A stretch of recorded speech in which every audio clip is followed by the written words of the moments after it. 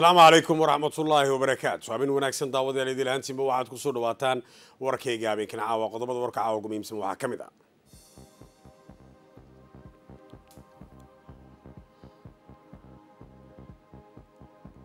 Jabuuti oo mustaqbalka xudunta xamuulka ah ee afrika ku tala jirta wararka caalamkana dhinaca ciyaaraha kooxda f c barcelon ayaa waxay caadhisay tababaraheygii u tababarayay kooxdaasi barcelon intaasi waxay ahayd qodobadii warka u waaweynaa iminkana isagii o dhan. Bismi illaahi raxmaan iraxiim wasiirka caafimaadka doctor axmed roble cabdille ayaa gaadhay xarunta taliska ciidamada shantara mariga qaranka. Waxaana halkaasi ku soo dhaweeyey taliyaha kumeer gaadhka ah ee ciidamada shantara mariga colonel ibrahim cilmi qayb. Iyo wafdi uu ka mid yahay colonel cabdira'uuf burhaan maxamed iyo madaxa caafimaadka ciidanka shandaramariga iyo agaasimaha barnaamijka taglaalka qaranka. Waxaa lagu soo dhaweeyey wasiirka caafimaadka howlkaasi ku yaalla ciidamada shandaramariga oo looga macno bixiyey. Waxyaabaha ay qabtaan ciidamada shandaramariga ee qeyb ka ah shilalka ka dhaca waddada qaran ee koowaad ee r n a. Wasiirka caafimaadka ayaana ka dhageystay warbixino ku saabsan caqabadaha iyo aragtida laga qabo faldambiyeedka daawooyinka waxaana soo jeedinayay cornel cabdira'uuf burhaan maxamed. Wasiirka ayaana wasiirka caafimaadka ayaana waxa uu booqday xarunta caafimaad ee ciidamada shandarmariga qaranka. Waxaana wasiirka caafimaadka doctor axmed roble cabdille uu xusay in ciidanka shandarmarigu ay yihiin bahwadaag laysku hadleyn karo oo wasaaradda caafimaadka kala shaqaysa. Sidoo kalena ay ka go-an tahay ciidamada shandarmariga taageerada dhammaan mashaariicda wasaaradda caafimaadka waxaana wasiirka uga macno bixinaya goob kasta oo ka mid ah xarumaha caafimaad ee ay leeyihiin xarunta dhexe ee ciidanka shandaramarigu mas'uuliyiinta shandaramariga ee halkaasi ku sugan. Waxaa haddaba halkaasi ka hadlay wasiirka caafimaadka doctor axmed roble cabdille oo ka waramay ahmiyadda ay leedahay xarunta caafimaad wasaaradda ee ay leedahay ciidamada shandaramarigu waxaa inoo soo noo eegay hadalkiisii wariyey maxamed cabdi. La gendarmerie est un corps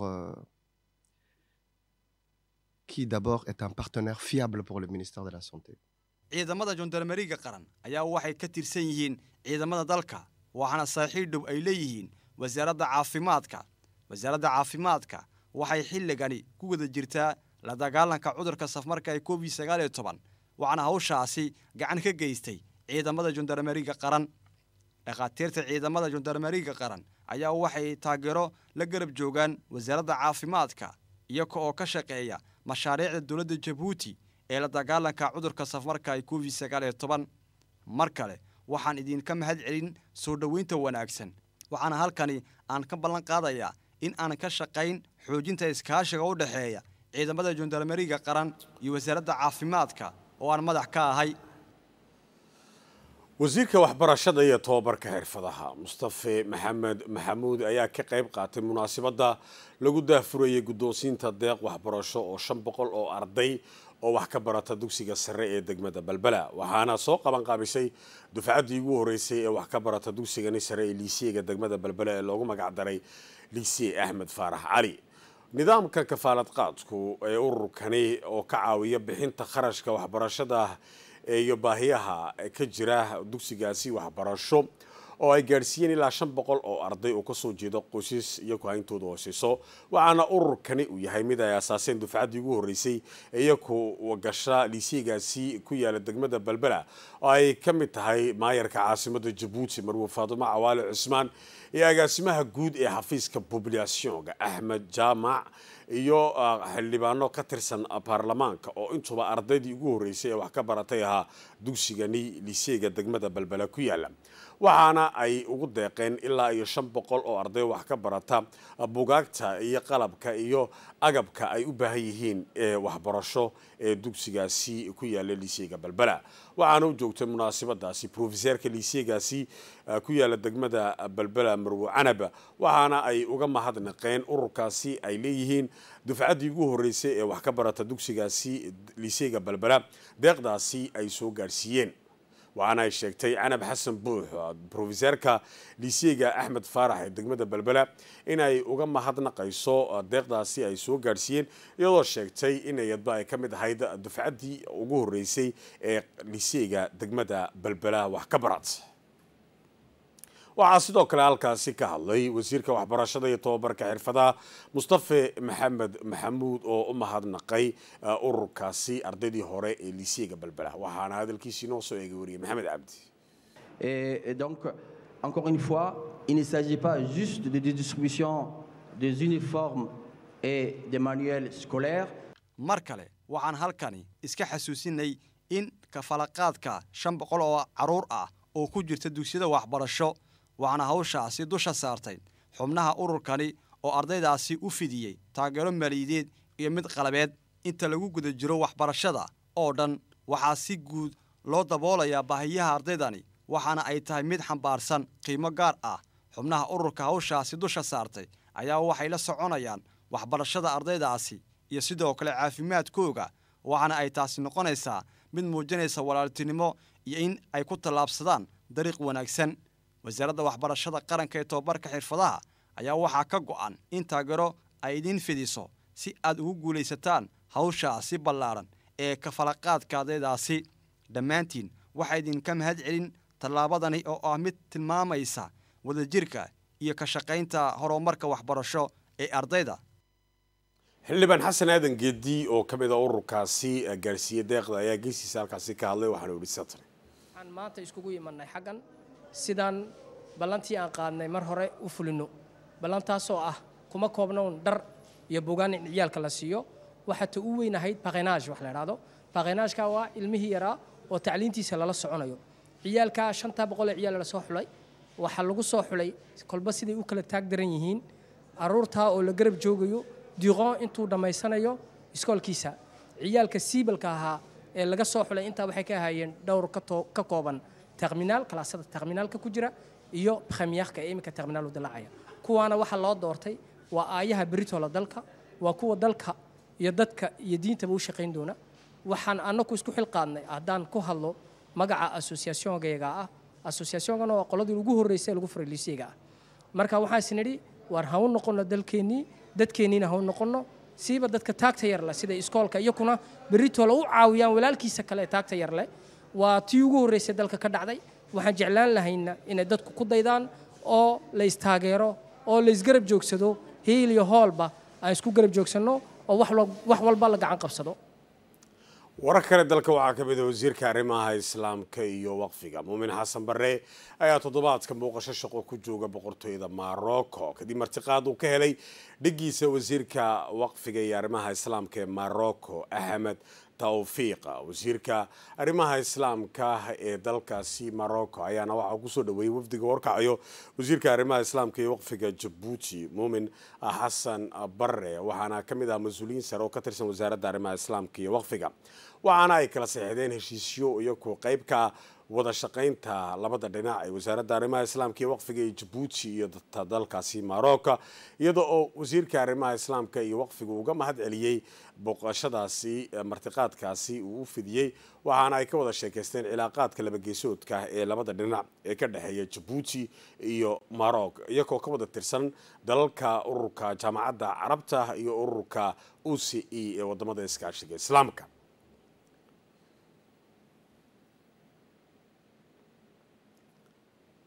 waxaana uu ka qayb qaatay kulan ballaadhan oo ay yeesheen labada dhinac ee mas'uuliyiinta wasaaradda arrimaha islaamka ee jabuuti iyo dhigooga dalkaasi marocco iyadoo oo qeyb ay ka tahay wada shaqaynta iyo koruqaadista qeybaha kala duwan ee wasaaradda arrimaha islaamka iyo waqfiga. Waxaana heshiiskaasi qalanka ku kala dugtay wasiir muumin xasan bare iyo dhigiisa dalka marocco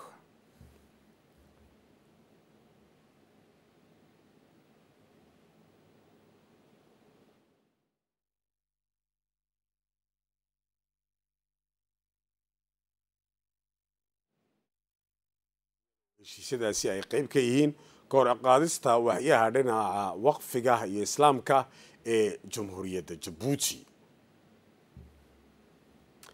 waxaana ay iswadaarsadeen labada dhinac hadiyado oo dhowr ah oo ka turjumaya dhaqamada jabuuti iyo sidoo kale dalkaasi morocco iyada oo kadib uu saxeixay wasiirka arrimaha islaamka iyo waqfigu buugga dahabiga ah ee wasaaradda arrimaha islaamka ee dalkaasi morocco mar halkaasi uu ka hadlay wasiirka arrimaha islaamka iyo waqfiga ee dalkaasi morocco waxa uu horta u mahadnaqay booqashadaasi uu ku yimiday wasiirka arrimaha islaamka ee jabuuti waxaana uu sheegay axmed towfiiq oo ah wasiirka waqfiga iyo arrimaha islaamka dalka morocco in jabuuti iyo maroc ay ka dhexayso cilaaqaad waqti dheer ah oo dhinaca dhinaca arrimaha isdhaafsiga dhaqanka islaamka iyadoo labada dal uu yidhi ay ka wada tirsan yihiin ururka jaamacadda carabta iyo sidoo kale ururka o c ee waddamada iskaashiga islaamka. Waxaana uu sheegay in wasaaradda arrimaha islaamka ee dalkaasi morocco ay diyaar u tahay wax walba oo ay ku garab joogsanayso wasaaradda arrimaha islaamka iyo waqfiga ee jamhuuriyadda jabuuti waxaa sidoo kale halkaasi ka hadlay wasiir muumin xasan barre oo isagu sheegay in booqashadani ay ka turjumayso xidhiirka wanaagsan ee walaaltinimo ee labada shacab ee jabuuti iyo morocco waxa uu sheegay inuu aada ugu faraxsan yahay gebagabada heshiiskani oo looga gol leeyahay yuri in lagu xoojiyo xidhiirka walaaltinimo iyo iskaashi ee ka dhexeeya jamhuuriyadda jabuuti iyo boqortooyada morocco ee dhanka islaamka. Wasiirka ayaa carabka ku adkeeyey in waaxda arrimaha islaamka ay si joogto ah uga shaqaynayso sidii loo xoojin lahaa isku xirka bulsho iyo qiyamka wadajirka ee dhexdhexaadinta iyada oo la raacayo aragtida aragtida madaxweynaha jamhuuriyadda mudane ismaaciil cumar gelle isagoo oo dalkeena u jeexay in ay noqoto waax dhinaca nabadda iyo horumarka lagu soo hirto ayuu xusay wasiir muumin xasan barre. Wararka kale dalka haddaan u soo guddo dhacno ururka a n c l d ay ku bahoobeen maamul hoosaadka jabuuti ee caasimadda iyo gobollada dalka gudihiisa ayaa waxa ay ku soo dhaweeyeen xarunta dhexe ee maamul hoosaadka xarunta dhexe ururkaasi a n c l d wasiirka ballaadhinta maamul goboleedka qaasim haaruun waxaana halkaasi ku soo dhaweysay gudoomiyaha ururkaasi a n c l d ahna duqa caasimadda jabuuti marwe faadumo cawaale cusmaan iyo mas'uuliyiinta maamul hoosaadka ee caasimadda iyo gobollada dalka gudihiisa. Waxaana ay martiqaadkaasi qayb ay ka tahay wada shaqaynta buuxda ay leeyihiin ururka a n c l d ee maamul hoosaadka dalka iyo sidoo kale wasaaradda ballaadhinta maamul goboleedka. Waxaana ay tahay mid ay u joogeen gudoomiyaasha degmada balcawsta iyo balbela iyo sidoo kale gudoomiyaasha maamulada shanta gobol ee dalka gudihiisa. Waxaana ay tahay mid ay ku soo dhaweeyeen wasiirka ballaadhinta maamul goboleedka iyadoo ururkaasi n c l d tan iyo kolkii la asaasay uu sameeyey arrimo dhowr ah oo qayb ka ah sidii kor loogu qaadi lahaa waaxda dhinaca maamul hoosaadka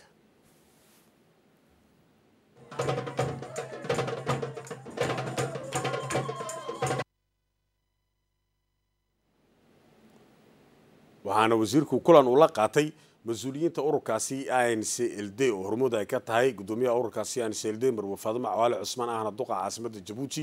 iyo gudoomiyaasha shanta gobol ee dalka iyo degmada belbela iyo bulcawsta. Waxaana ay qayb ay ka tahay kulan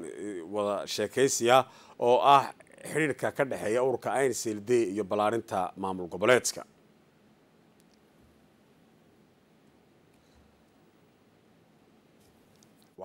kale halkaasi u joogay dhammaan xubnaha xubinta ka ah ururkaasi a n c l d oo uga macno bixiyey ugana xog warramay tan iyo xilligii ururkaasi la asaasay a n c l d tallaabooyinka horumarineed ee ururkaasi a n c l d uu qaaday ee la xidhiidha dhinaca koruqaadista maamul hoosaadka iyo mashaariicda dalka ka socda in la gaadhsiiyo dalka guud ahaan iyadoo weliba ururkaasi uu ka qayb galay munaasibado badan oo lagu soo marti qaaday oo heer caalami iyo heer goboleedba waxaana wasiirku saxeixay buugga dahabiga ee ururkaasi a n c l d uu ku leeyahay xaruntiisa dhexe ee xaafadda gabooda. Waxaa halkaasi ka hadashay haddaba gudoomiyaha ururka a n c l d ahna duqa caasimada jabuuti marwe faadumo cawaale cusmaan waxaana horta ay u mahadnaqday wasiirka ballaadhinta maamul goboleedka booqashadaasi uu ku yimiday xarunta dhexe ee a n c l d waxaana duqa caasimada ahna gudoomiyaha ururkaasi a n c l d marwe faadumo cawaale cusmaan ay xustay oo hoosta ay ka xariiqday in tan iyo xilligii la asaasay ururkaasi a n c l d u qaaday tallaabooyin hor leh oo qayb ka ah koruqaadista arrimaha ballaadhinta maamul goboleedka iyo mashaariicda uu qabtaan dhammaan maamul hoosaadku. Waxaa kale ay u soo jeedisay wasiirka ballaadhinta maamul goboleedka. Duqa caasimada jabuuti ahna gudoomiyaha ururka a n c l d in ururkaasi a n c l d uu noqdo o n amba hay'ad dawli ah oo ka howlgasha dalka si kor loogu qaado tayada uu leeyahay ururkani n c l d. Geestiisa waxaa halkaasi ka hadlay wasiirka ballaarinta maamul goboleedka qaasim haruun. Waxaa hadalkiisii noo soo maxamed cabdi. Parmi vous pour cette première rencontre organisée dans le cadre de l'Association nationale de collectivités locales de Djibouti, connue sous le. Waxaan ku faraxsanahay in aan ka qayb qaato shirkani ee isku yimaadeen xubnaha ururka qaran ee ku bahoobay maamul goboleedka. Aasaaska ururka ainsld ayaa waxay tahay tallaabo wanaagsan oo xoojinaysa hanaanka jamhuuriyadda jabuuti ee dardargelinta maamul goboleedka iyadoo maamul goboleedka uu ka dhashay siyaasadda madaxweynaha jamhuuriyadda. Ururka qaran ee ainsld oo taageero ka helaya midowda reer yurub iyo wakaaladda faransiiska ee lagu magacaabo i f d ayaa waxa uu ka shaqeeyaa xoojinta tababarada lagu kobcinayo aqoonta xubnaha maamul goboleedka iyo sidoo kale hirgelinta barnaamijyada bulsho. Ururkan ay ku bahoobeen xubnaha maamul goboleedku waxay iskaashi dhow ay la wadaagaan wasaaraddan madaxa ka ahay ee ballaadhinta maamul goboleedka waxaana halkani ay mar kale ay soo dhoweyn adeegyada bulsho ee ururka ay ku bahoobeen xubnaha maamul goboleedka intaas kadib waxaa wasiirka ballaarinta maamul goboleedku uu soo indhaindheeyey qeybaha kala duwan ee ay ka kooban tahay ururkaasi inc l d. Xaruntiisa uu ku leeyahay xaafadaasi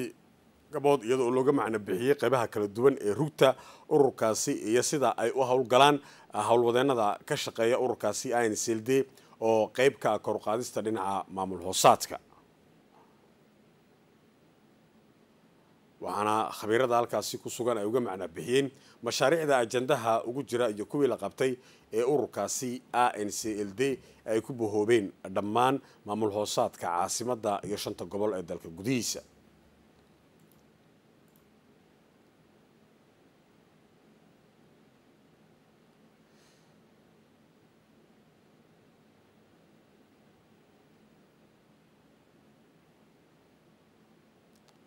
intaasi kadib waxaa loo sameeyey harmasharafeed wasiirka ballaarinta maamul goboleedka oo lagu marti qaaday hoolka ballaadhan ee ururkaasi inc l d uu leeyahay oo qeyb ka ahayd booqashadaasi koowaad ee wasiirka ballaarinta maamul goboleedku uu ku imiday rugta xaruntaasi inc l d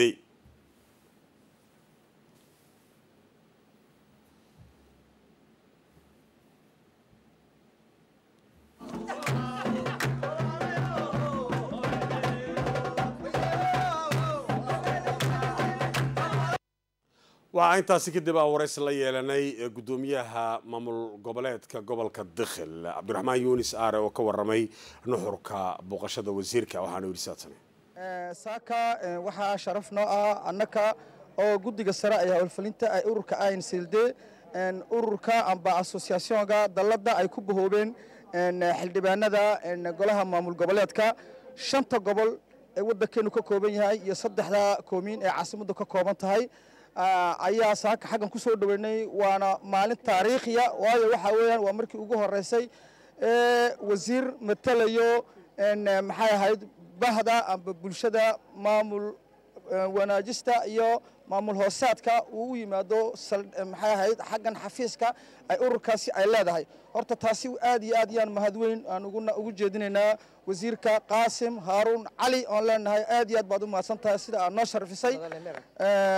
madam lemer iyo shantii beresident iyo saddexdii beresident koomiin aad u soo garab joogsatay waayo waa guddida howlfulinta ururka ainsld aad u soo garab joogsatay. Waa la taaban karaa maalintaasi waa maalin taariikhiya. Ta kale waxaad ogsoon in ururkan waxa weeyaan waxaa leedahaa waa association fatier desoli waxa weeyaan xildhibaan kasta oo golaha maamul goboleedada shanta gobol iyo saddexda koomiin ka mid a waa meel ay isku arkaan ku wala sheekaystaan ku wala kulmaan. Waayo waxa weeyaan isku wala dan ayaan nahay. Danteeda ugu weyn ee muhiimaddana waxa weeyaan waa sida aan nolol maalmeelka muwaadi kasta oo heer jabuutiya amba baadiye ha joogo amba meel magaalo ha joogo amba gobol ha joogo amba caasimadda ha joogo si loo wanaajin lahaa. Waayo khadamaadka amba ujeeddada weyn ee dowladdu ay ka leedahay aabbaha maamul ballaadhista amba maamul hoosaadkuna waa ismaaciil cumar geelle oo labadii kun iyo ugu labadii kun iyo lixdii markii ugu horreysay xirgeliyey si rasmiya intikhaabaadka loogu tartamo maamul goboleedka markaas waxa weeyaan minister wasaarad buu sameeyey wasiirku. Wasaaraddaasi urur ahaan haddaan nahayna waa inaan garab galno. Waayo waxyaal badan ayaa naga maqan oo ka maqan si aan hawsheenni si taama aan u lahayn. Tayna waxa weeyaan isku dan baana waan dhinac mida ka jeesano markaasi waxaan leenahay mustaqbalku wuu fiican yahay wuu wanaagsan yahay. Waxa weeyaan dalkeenna ha u shaqayno ummadeenna ha u shaqayno iyadoo shir guddoomiye ee ka yahay xildhibaan sharmaake muuse aare waxaa kulan ay isku yimaadeen guddiga baarlamaanka dalku ay ka baaraandegeen mashaariic dhowr ah oo halkaasi ajandaha ugu jiray waxaana u joogay mas'uuliyiinta kala xildhibaanada kala duwan ee golaha baarlamaanka waxaana doordheer kadib ay isla garteen in mashaariicdaasi ajandaha ugu jira ee golahaasi baarlamaanku la horgeeyo fadhiga loo dhan yahay ee golaha baarlamaanka guddoomiyaha guddoonka maamulka marsooyinka iyo goobaha ka caagan cashuuraadka mudane abubakar cumar xaddi ayaa saaka guddoomiyey furitaanka dhaqdhaqaaqa gaadiidka xamuulka qaada. Waana mashruuc qeyb oo ka ah xoojinta badeecooyinka soo maraya dhinaca kaargooga ee hawada. Adeegyada la fulinayo oo ah sidii habka ugu dhaqsaha badan macaamiisha loogu keeni lahaa bucsharadaha u socda waxaana munaasabadaasi u joogay mas'uuliyiin ka socda safaaradda etoobiya ee jabuuti iyo madaxda shariikadaha kale ah s j t d ee marsada dorale iyo dorale international free trade zone iyo shirkad iyo shirkadda duulimaadka air jabuuti iyo ethiopian airles waxaana guddoomiyaha guddoonka maamulka marsooyinka iyo goobaha ka. Caagan cashuuraadka abubakar cumar xaddi oo goobtaasi ka hadlay uu sheegay in daahfurka qaybtani loogu magac daray meer air ay fursad dahabiya ay u tahay sharikadaha caalamiga ee dhinaca logistiga iyo dhoofiyaasha caalamkaba. Waxaana uu xusay in toddobaadkii saddex kontineer ay halkaasi ka soo degi doonaan laguna tala jiro in ay noqoto jabuuti xarunta dhinaca logistiga ee qaaradani africa wararka dalka waxaa ka mid a kulan xog waraysi iyo wadatashi ah oo ay shalay galab yeesheen guddiga sebeg oo ka qabsoomay xarunta sebeg ee sanduuqa keydka iyo amaahda ee jabuuti oo ah hay'ad maaliyadeed oo bixisa qalabka iyo adeegyada maaliyadda oo loogu talagalay dadweynaha oo ka baxsan nidaamka bangiyada. Waxaana maalgeliyay baanka adduunka iyada oo loo sii marinayo xarunta hogaaminta hal abuurka ee clay mashruucani digitaal loogu magac daray waxay ujeedadiisu tahay casriyeynta adeegyada maaliyadeed ee sabeeg ay bixiso iyada oo la siinayo fursado dahabiya waxaana u joogtay halkaasi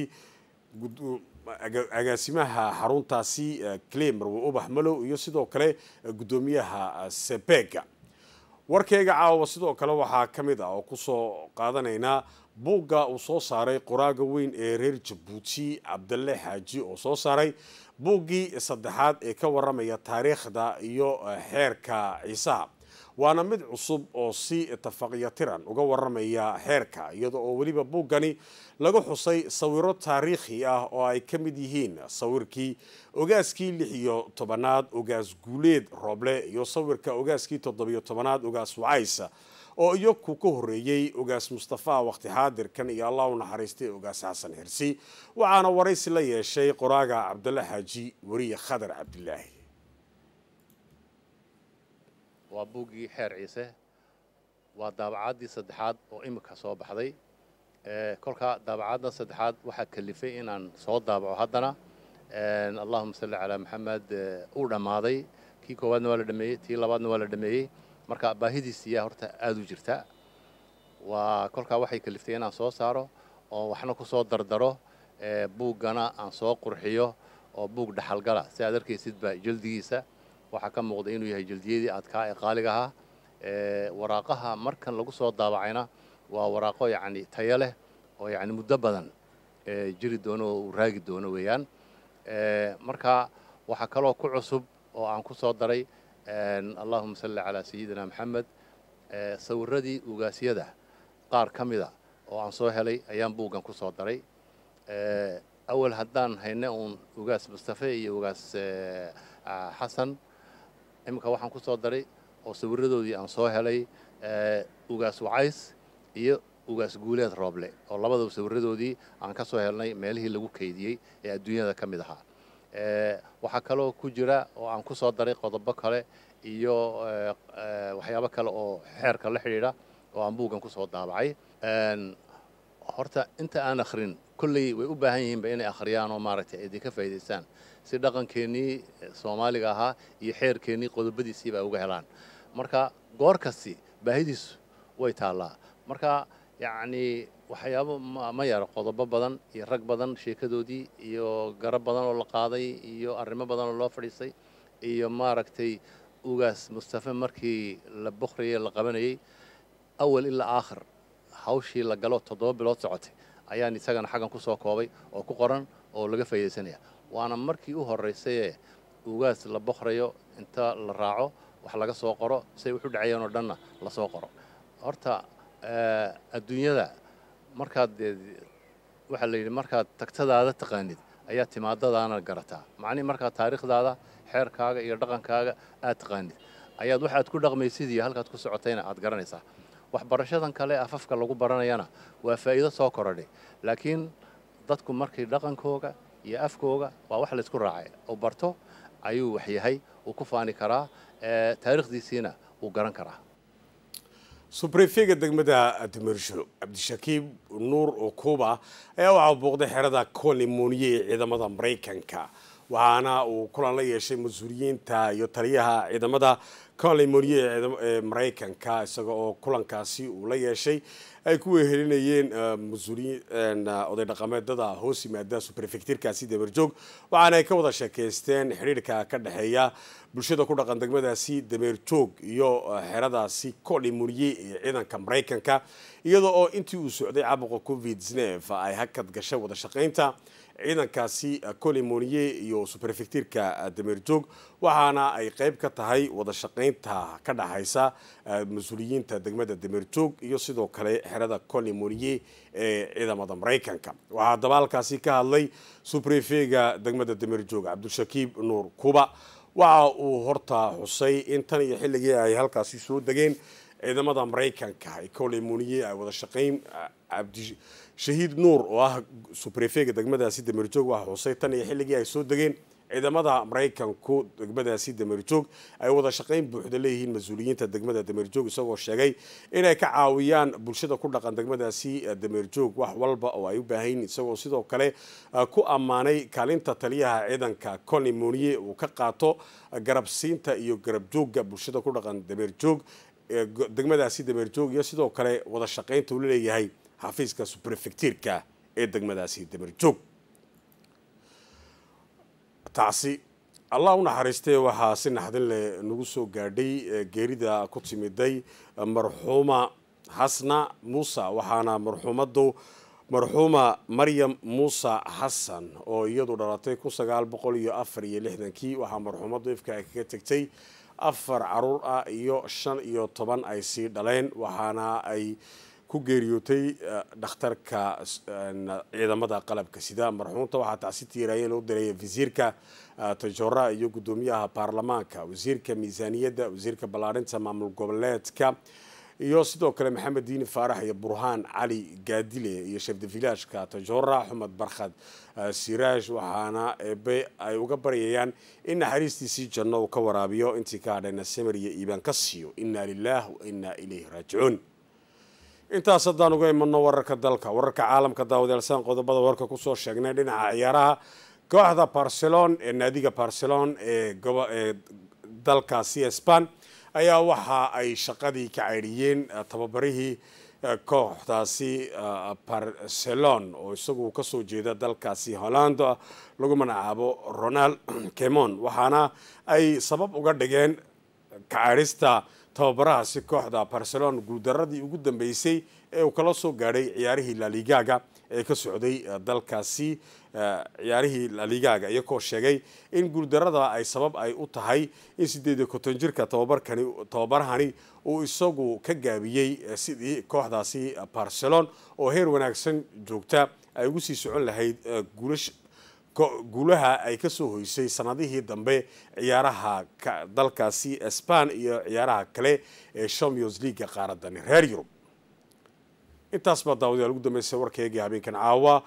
waxaan u mahadnaqaya wariyaashay farsamo yaqaaninta igala qayb qaatay warkan. Warkan war lamida intaan ku kulmi doono nabadgelyo jimco wanaagsan